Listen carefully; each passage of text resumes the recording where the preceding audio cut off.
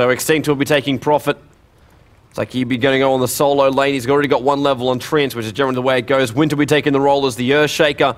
Ice takes Crystal Maiden. That's rather appropriate. KYXY, he'll be on the Leshrac, so solo mid.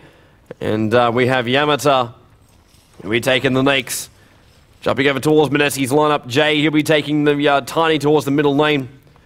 We do have uh, what I like to call him the Pirate, Bizarro, uh, Ray. We're taking the uh, Tidehunter in towards the middle lane. Won't be there for very, very long. He's just there for a ward, and then he'll rotate around. As Jules, he gets the Mirana. Woots. That is him. I just realized he's changed up his name a little bit. Nice. That's uh, Chen. Well, he's our last one over. He takes up the Shadow Shaman.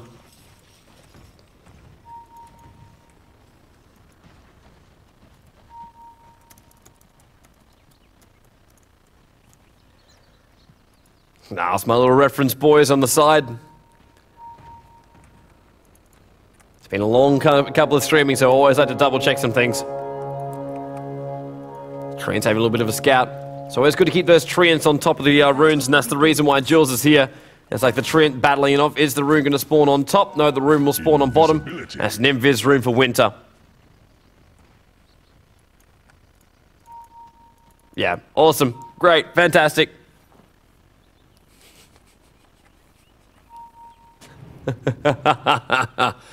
Thank you very much, Eric. Thank you very much. All right, so 24 seconds. We're now in the Creep Waves are spawned up. Tiny versus Leshrac. What's he going to go for his first level? Do we see him go stun? Do we see him go lightning storm? Uh, just continuous harassment on Jay might make think might Jay might make Jay think twice about running in. Counter warding up for the Radiant side. Getting rid of these walls so they can gank on the bottom lane. Tide really wants to finish this off. He realizes too if he comes in a little bit too close that he can find himself in a little bit of uh, hurt. We've got Earthshaker CM as well as Naix on the combo. Up towards the top lane, Jules. Mirana up against the Nature's Prophet. So Prophet does get to go solo. A solo on the easier lane though. This tri-lane on the bottom is going to be the hard one, and we see Shadow Shaman not going in towards that middle because obviously Tiny is there.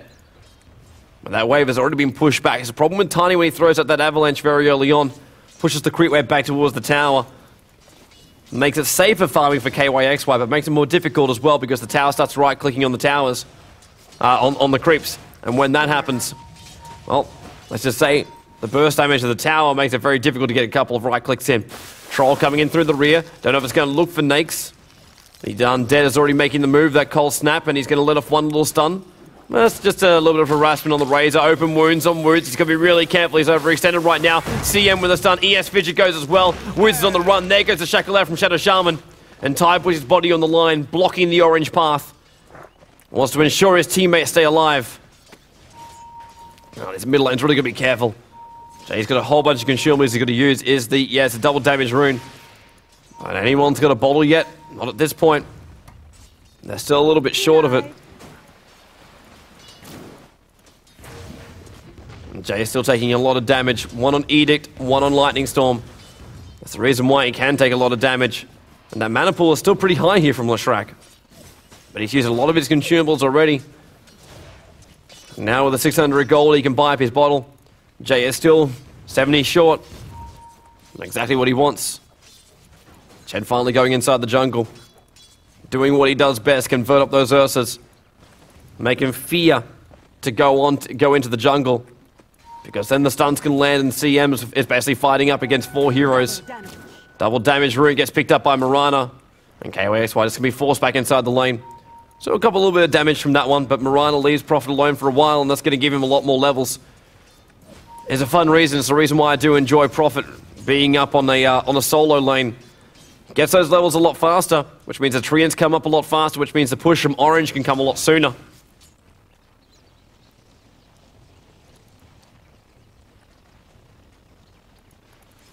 Up towards the top, Mirana.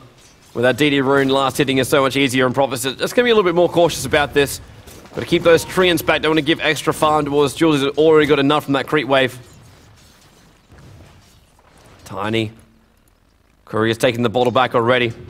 So both both players in the middle lane running Bottle Crow. In fact, it's a dedicated Bottle Crow. We've got two couriers running up. So Jay running running a dedicated courier. I love this kind of stuff. It means he's going to feel so confident to spam up everything. Doesn't always need the runes. The runes will definitely help, as we're now going to see the four-minute rune spawn up. But Jay knows at any point he'll always be able to pick up that rune, or always be able to pop off all these abilities. Because that courier can just keep on running. Another bottle's running up towards the top lane, so we've got double bottles running for Mineski. And there goes the Prophet TP. Well, he's not going to grab it though. Will the Avalanche toss combo? Or KYXY is going to be really careful. Low life, and even now the courier's going up on the high ground. Speed for, on it. It's on the run. Are the couriers hunting each other? He's using the courier to scout. Searching out for anybody around here. It's the haste from the courier as well as Jay. It's the reason why they can keep up with each other. And they're rotating up towards Extinct on the top. And he's going to dive this. We've got a 3-2 combo. He goes for the TP. Prophet gets out just in time. Avalanche goes out from Jay, and that's not where the first blood's going to be. It's going to be on the bottom lane. The Chen spills it. And now they're going to pick up Nature's Prophet. He was TPing down towards the bottom lane, and Prophet's just like, crap, maybe I should have set up on the top lane. Chen wants to finish the job. Is there a nuke? No, eight seconds off cooldown. But they can find themselves an Earthshaker. It's the Satyr, it's the one creep you never want to get as Chen. And Naix comes back towards the bottom lane. So one kill for Chen. And one kill for Nature's Prophet. The trade-off on the bottom lane.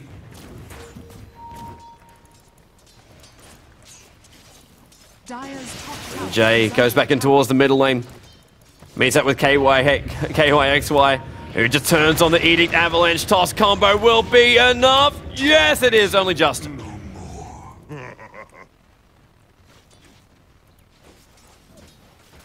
That's one large rock throw.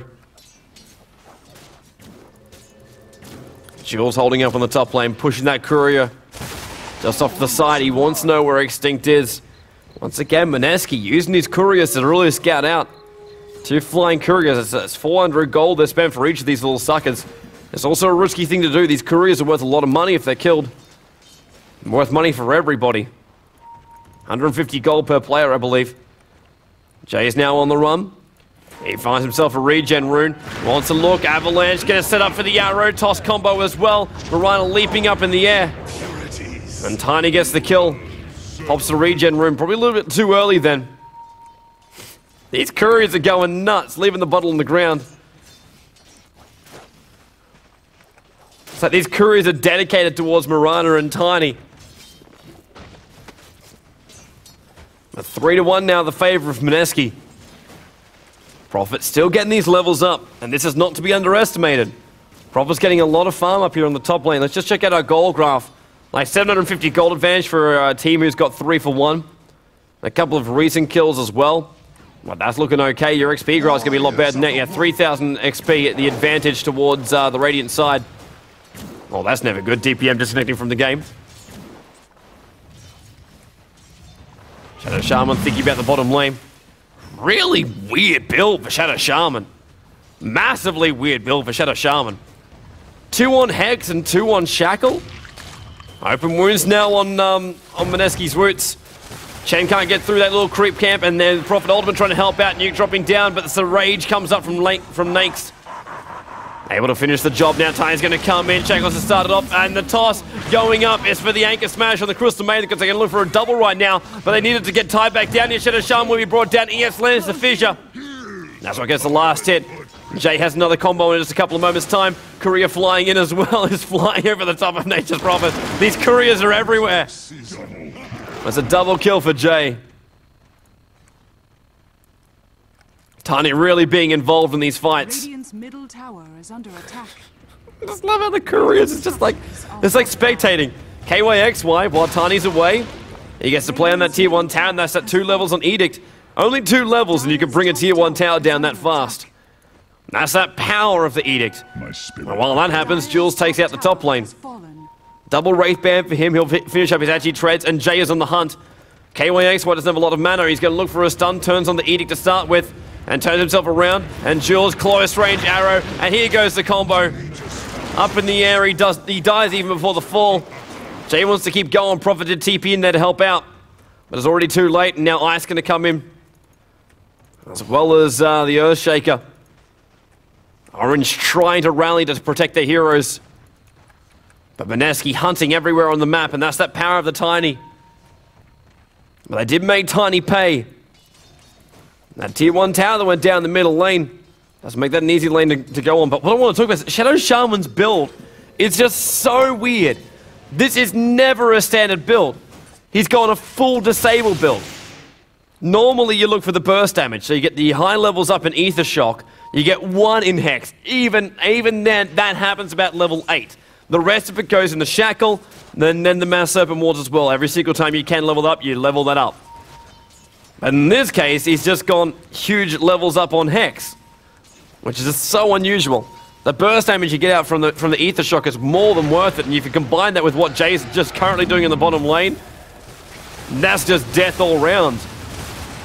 I do have these wards up in the bottom, and uh, oh, Jay just gets sent back to base. He was pretty high on life as well as mana. Not quite sure that was really needed. maybe he's just going to, going to go in the middle lane. That's probably exactly what it's for. KYXY. Really wanting to push out this middle lane. Got to really say I'm impressed by Mineski's movements. It's just so fluent and it's staying everywhere on the map. They want to have a presence. They want to keep Tiny everywhere on the map. And it's working perfectly for them. And Tiny has no fear of spending any of these abilities. He's almost got a Blink Dagger. And when that happens, hello, good ward trap. Yamatar is blocked in the bottom lane. He will not get himself away from this one. The ward trap out there from the Shadow Shaman holds him in place. And there goes the life steal, and Naix is on the side. Chen pops off the heal, and now Jules going on the Nature's Prophet. There's a lot of damage. That's just normal right click, so that's the reason why he's fallen back. The Wilkins and the Undead want to push through the bottom lane. Chen's on very low life, though. He cannot stick around for long. And the Striker's going to try and defend. There's four levels on Lightning Storm, so it's not going to be the easiest push of, of Mineski's life. ES Fissure. Stun as well.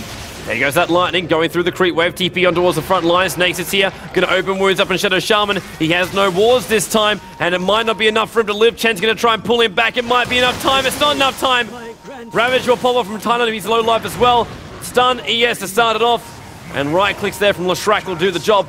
Three down from Mineski. They've overcommitted, but then again, Nature's Prophet's slow. life. Going to TP himself out, but the stun there from Leshrac. Four heroes go down. Wow, Leshrac really wants 120 mana. so they can push, but then again, look at Jules, top lane, pushing on the tier 2 tower. Mineski lose four heroes in the bottom. They're going to look for a trade in the tier 2 on the top. Top tower is under attack. So I love about this game. Dire's structures are fortified. There is no turtling. This is a full-on brunch. You show your hand, you say, we must push, we must push you hard. That's exactly what's happening. Prophet TP's up towards the top lane. And Jules already dealing a decent amount of damage with those agility boots as well as having the double Wraith Bands. More importantly, he's got 1400 gold. And that means Yasha is not far off. And what do we got flying up is the bottle coming back up for Jules. And Tiny's on the run. He's not going to be happy with the fact he died in that bottom lane. It's going to set that Blink Dagger back by about another two, three minutes. Depending on if he can catch somebody out right now. And there's Earthshaker in the worst position. Jules is going to pick up that Illusion Rune. Finding Winter. Arrow's going to fly. Winter avoids it. I don't think Jay's going to get there in time. He's trying to. Phase boots are popped. And now the TP's coming towards the middle lane. It's Yamatar, but he does not want to be here. Avalanche misses. And they've got to get themselves out. Jules is currently locked inside. He was hoping that Manus, well, he was hoping that Illusion Rune might get himself out, but it's not going to work. Open wounds now going on Jay, tossing the raise, the, uh, the Alive Stealer back again with that right click, as well as Fissure and Prophet Ultimate. Everything they needed to bring down the tiny orange had at their disposal. It's not over just yet. Crystal Maiden getting caught out. That's why she don't go bush. Shadow Shaman buying himself some time on the bottom lane to farm up. Still four levels on Hex. Blows my mind that is the case. He has no burst damage. That burst damage is generally feared by everybody, but not in this case. But level 4 Hex, level 2 Shackles, level 1 Mass Serpent Wards.